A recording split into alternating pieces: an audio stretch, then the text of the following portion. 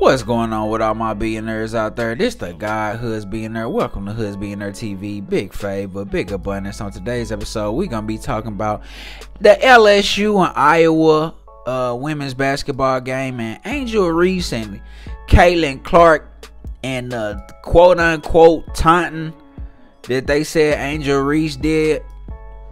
Let's talk about it. Let's talk about it. So, first and foremost, I in I you know I'm an avid sports watcher. I love sports. Uh, basketball, football, baseball. Those are my main three that I really watch the most. Boxing, I take that back. Boxing probably up in there over baseball. Um, but are just as high. Those four. You feel what I'm saying? I'm always pretty much up to date on shit that's going on with those sports. You feel what I'm saying? But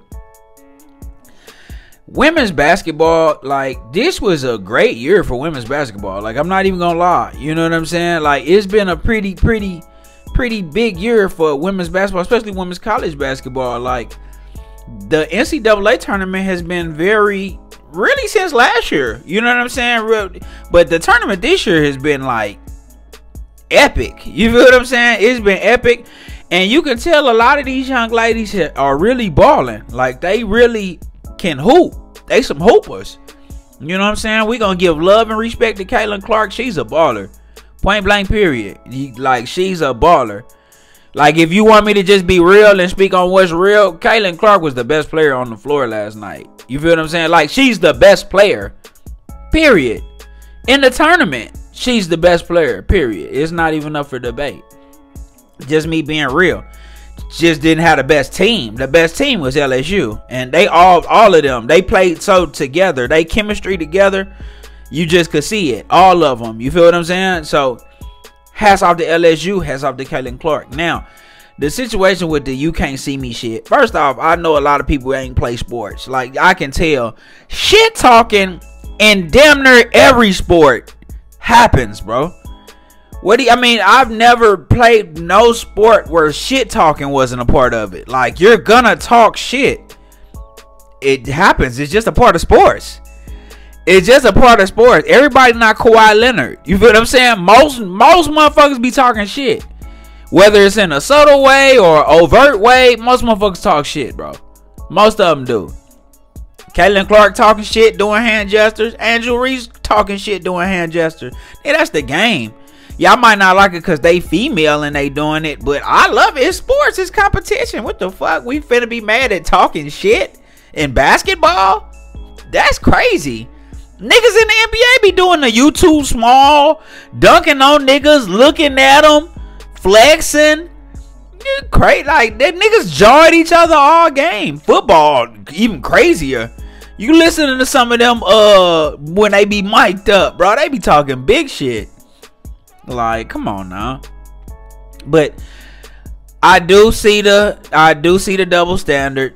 You feel what I'm saying? Like, let's be real. Caitlin Clark did the exact same thing. Was talking shit, waving motherfuckers off. You can't shoot. You can't see me.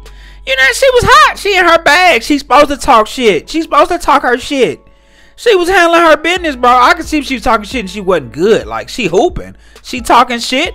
She had the right to talk shit. Angel Reese been hooping a double double machine, balled out. She got the right to talk her shit. Give a fuck. Like that's come on now. Y'all just making something out of nothing. But I do love what she said in the press conference. I'm doing this for little girls like me. You feel what I'm saying? Who don't fit the mold. You know what I'm saying? That the, the box they want to put you in. You know what I'm saying? Cause she a little ghetto girl who who who is proud of of who she is and the culture that she was reared in. You know what I'm saying? And that's really the whole Hoodz Billionaire stable, bro. Like, like I'm a product of that. I love that. I feel like Nip was a big part of like pushing that forward. You feel what I'm saying? You can be an intelligent, articulate, well versed black man, but still embrace the culture that you were birthed in. Don't mean that you can't conduct business on the highest level don't mean you ignorant don't mean you not you you can't articulate your words and your thoughts you feel what i'm saying none it don't mean none of that it literally doesn't you feel what i'm saying i'm gonna embrace the culture that i was reared in People that live in France embrace the culture they were in. People in Brazil embrace the culture they in. People in Italy embrace the culture that they come up in. You feel what I'm saying?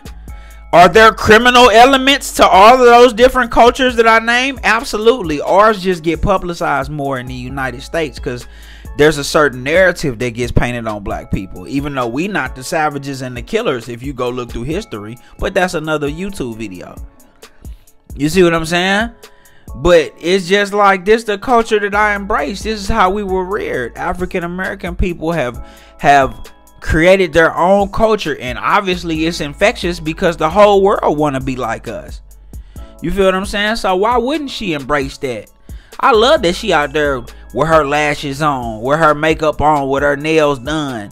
You feel what I'm saying? I love all that. You know what I'm saying? Talking how she talk, doing TikTok videos, listening to music that she like to listen to. I, I fuck with all of that. They tatted, they doing their thing, they they wearing weave, they I love all that. I love all that. Bring that feminine energy to to bas- to women's basketball. Bring that feminine energy to women's basketball. I love that. Like so, all that shit gotta stop. That's just some hate. If y'all throwing that at her, that's just some hate because y'all wanted Caitlin Clark to have that storybook in it. It just ain't go like that. Angel Reese, she was she she got her scholarship in Maryland as the number two player in the fucking country, bro. Like she a hooper. Y'all saw it. She can ball. She's a baller. You feel what I'm saying? Like, but allow her to be her too. You know what I'm saying? I ain't really even got much else to say about that because it's just silly to even speak on. But I, I, respect what she said because that's real. You feel what I'm saying? And she did, and she did do it for a lot of little young black girls because they gonna come up being able to be themselves. You feel what I'm saying? Uh, her, the the Sha'Carri, um, what's old girl, the track star, Sha'Carri, all of them. I love that. Y'all keep that up. Y'all keep bringing that to sports. They can try to keep hating on y'all and pushing y'all back and doing whatever. Y'all keep being unapologetically y'all. You feel what I'm saying? This the guy Hoodz Billionaire. Big favor, big abundance. Don't forget to like, share, subscribe. Like, share, subscribe. This the guy Hoodz Billionaire. Big favor, big abundance. I'm gone.